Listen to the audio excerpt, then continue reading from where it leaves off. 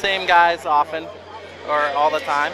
Uh, if you were to race anybody in Hollywood, would you want uh, to, to, go up against any certain Hollywood stars? Uh, well, Michael Rooker was out at uh, Irwindale Speedway a few months ago and talked crap to me that he was oh. the first rowdy.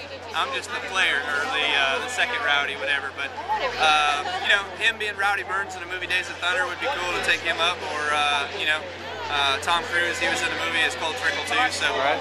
might as well take the guys that are played the movie buffs.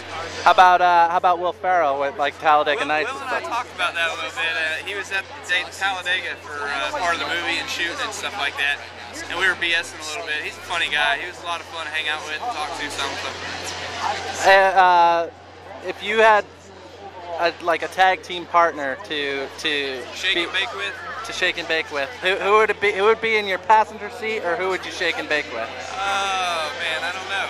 That's a that's a good question. You know, you'd like it to be one of your teammates, but uh, for me, I've gotten a real good relationship with Brian Ickler. He works for me, drives my Busch Motorsports trucks and stuff. So I think him and I would run that rip tour. Now, uh, NASCAR and WWE happen a lot and uh, when when your your days are done with uh, with with racing, would you ever want to be in a professional wrestling ring?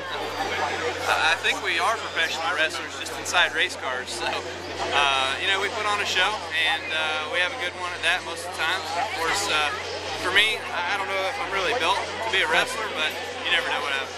As long as you have the talk, you could be a manager then. Yeah, exactly. I was up there and did the WWE uh, the guest in hosting. Buffalo last year. Right. And uh, had fun with it. And I was up on stage talking crap to the biggest guys there, and I'm like, they can kick my butt any second they want. So, yeah, that just shows you how cool it is.